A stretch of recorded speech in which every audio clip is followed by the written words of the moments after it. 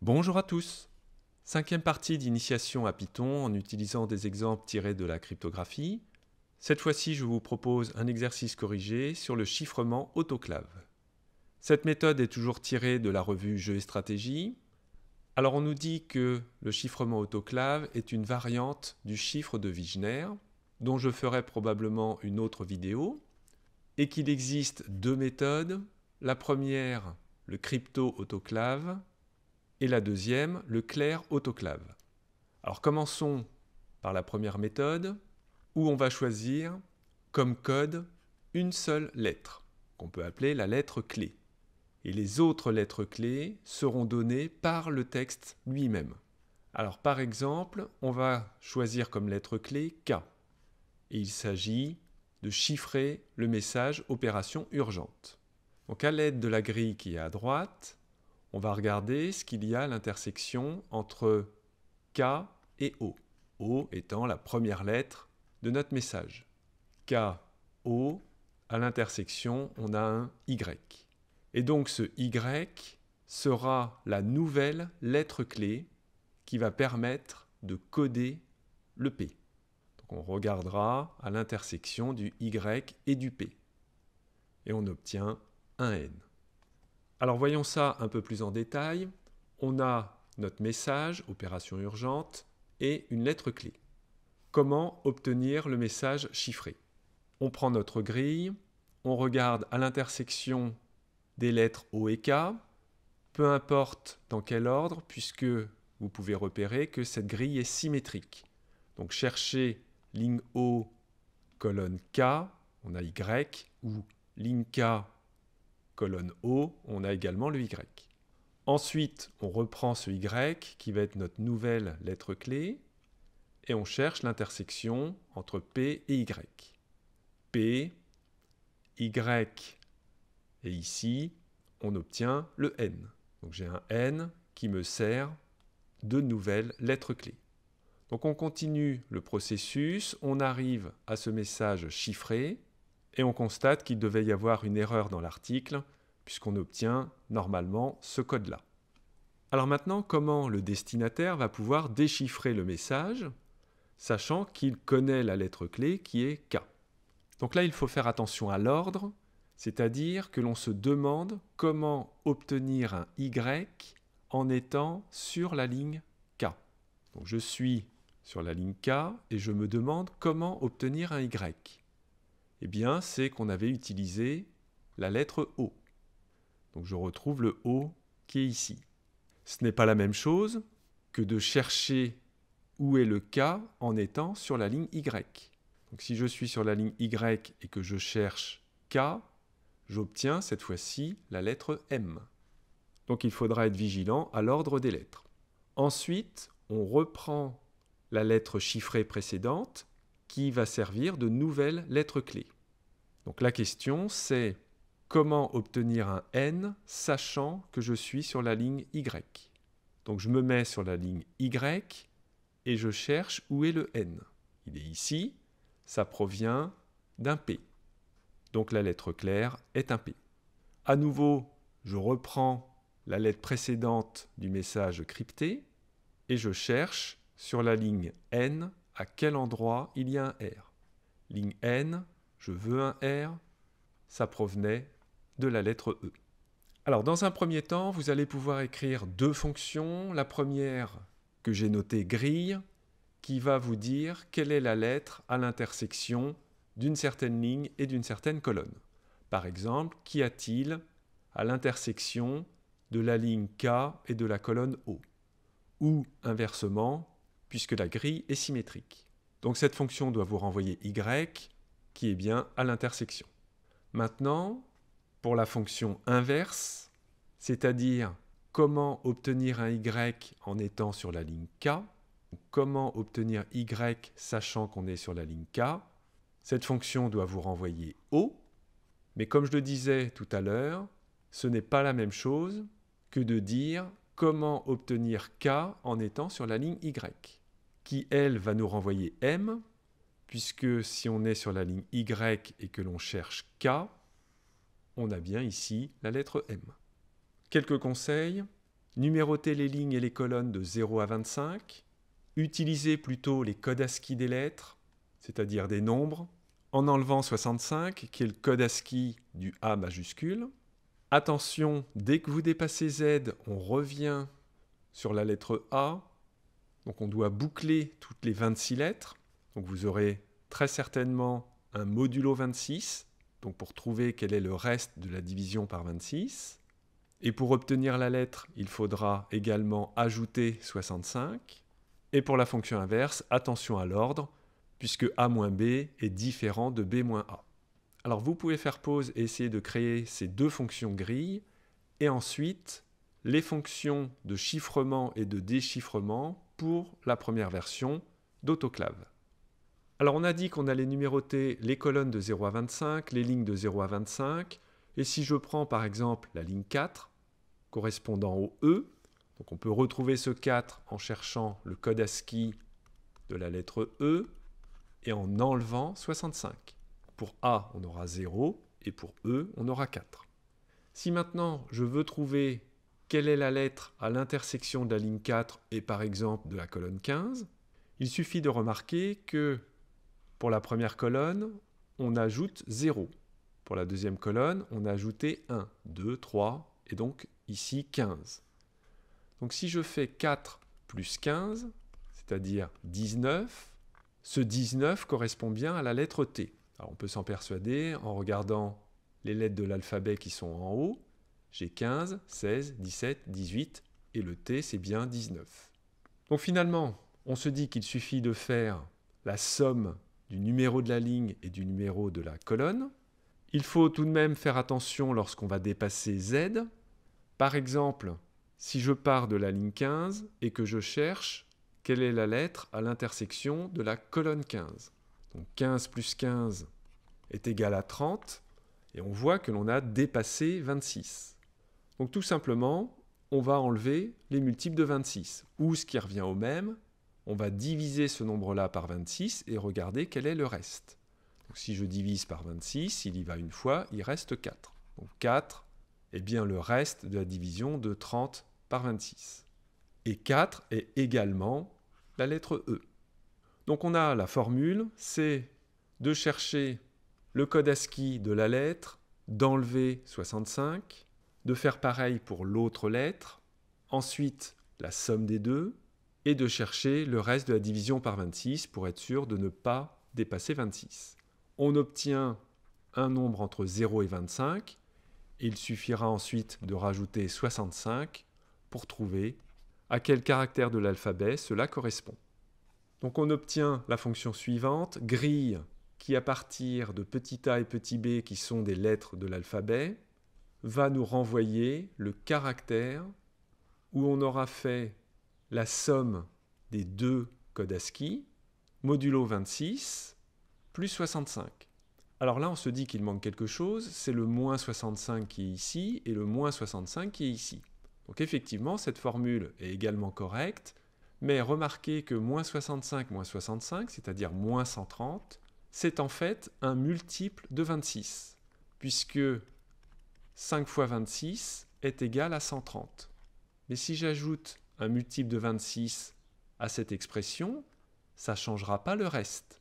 Donc je peux très bien ajouter 130 et je suis sûr que en faisant la division par 26, j'obtiendrai le même reste.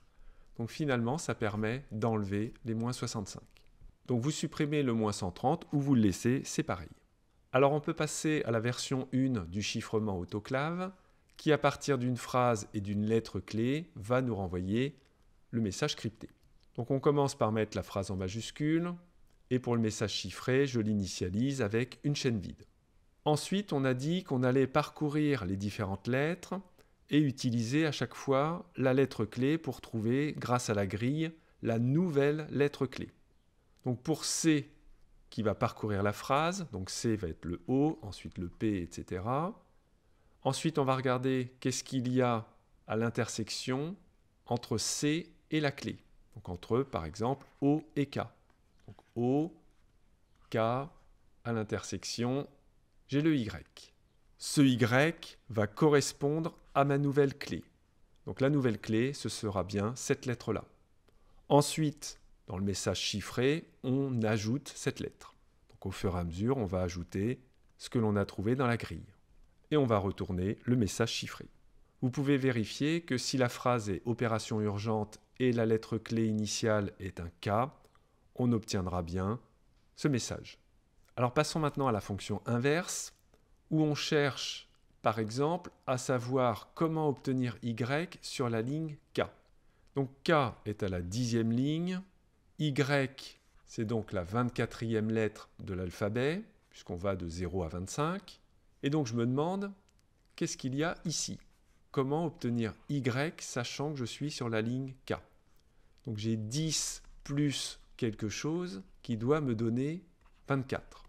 Donc ce quelque chose, c'est 24 moins 10, c'est-à-dire 14. Et effectivement, vous pouvez vérifier que O est dans la 14e colonne. Donc ce que l'on a fait, c'est qu'on a regardé la lettre que l'on cherchait moins le numéro de la ligne. Donc lettre que l'on cherche moins numéro de la ligne. Donc ce qui est là moins ce qui est là. Donc on peut écrire notre fonction inverse grille qui va chercher comment obtenir un certain caractère que j'ai noté A en étant sur la ligne d'un autre caractère que j'ai noté B. Donc il faut cette fois-ci faire la différence entre les codes ASCII de ce caractère moins celui-ci. À nouveau, on pourrait faire moins 65 pour les deux, mais comme 65 et 65 est un multiple de 26, on peut les éliminer. On regarde le reste de la division de ce nombre par 26. On obtient donc ici un nombre entre 0 et 25. On ajoute 65 pour retrouver la lettre de l'alphabet.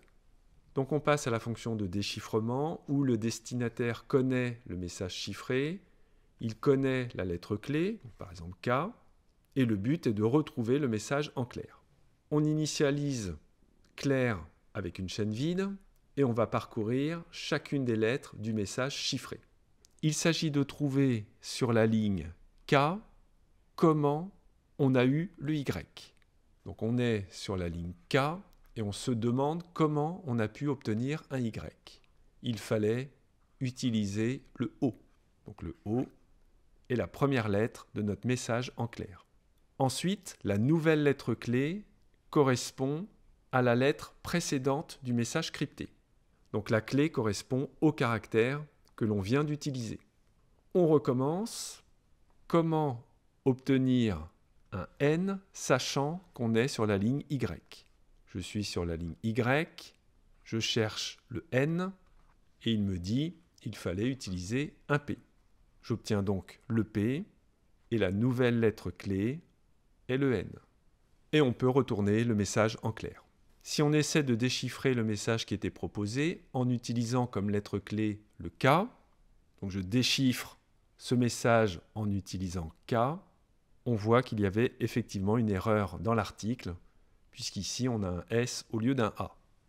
On va pouvoir passer à la deuxième méthode, et cette fois-ci, on va utiliser un mot-clé et non plus une lettre clé.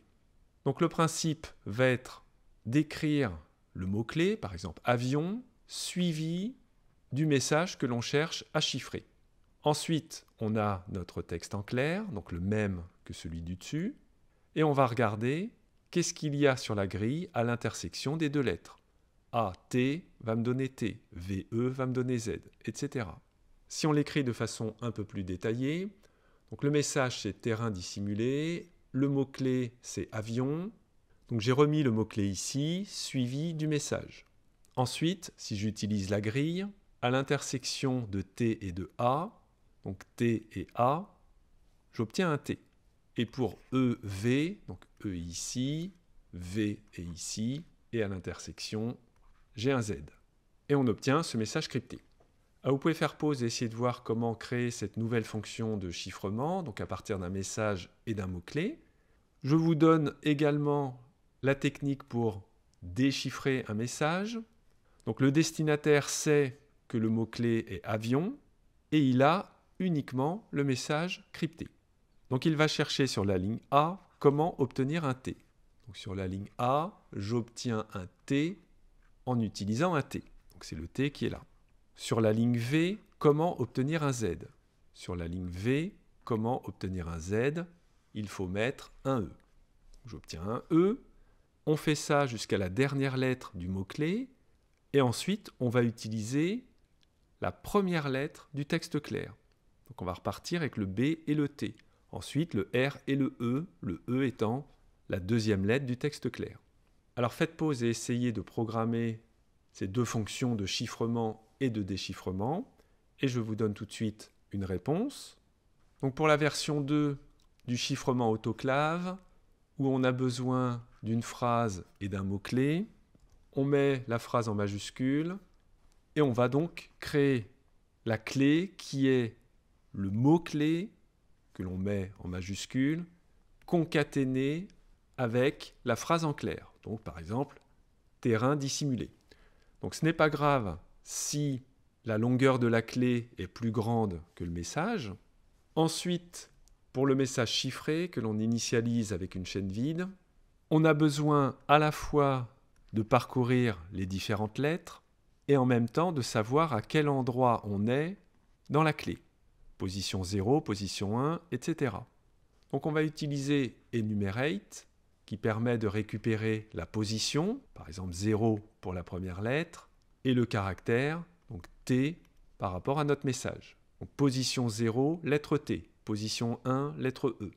Et dans notre message chiffré, on va regarder dans la grille ce qu'il y a à l'intersection du caractère, par exemple un T, et de ce qu'il y a dans la clé à la position I. pour la première lettre, clé crochet 0, c'est-à-dire le premier caractère de cette clé. Ensuite, C sera le E et I sera égal à 1. Donc qu'est-ce qu'il y a à la position 1 Il va nous dire 1V. Et grille EV va me renvoyer Z. Donc à chaque fois, la lettre que l'on voit à l'intersection, on l'ajoute au message chiffré.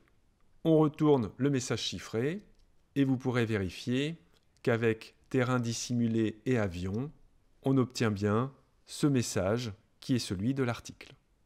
Pour le déchiffrement version 2, le destinataire connaît le message chiffré et il connaît également le mot-clé qui a été utilisé. Par exemple, avion.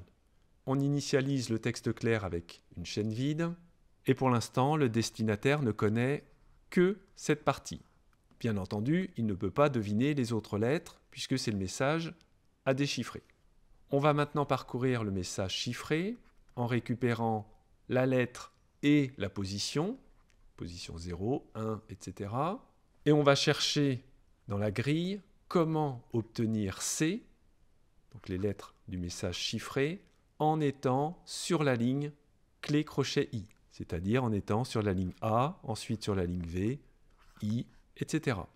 Donc à la première étape, C va être égal à T, clé crochet 0 va être le A, et donc il nous dit que la lettre qui a été utilisée, c'est le T. Ici, on a la lettre T. Et ce T va nous servir plus tard, une fois qu'on aura utilisé toutes les lettres du mot-clé.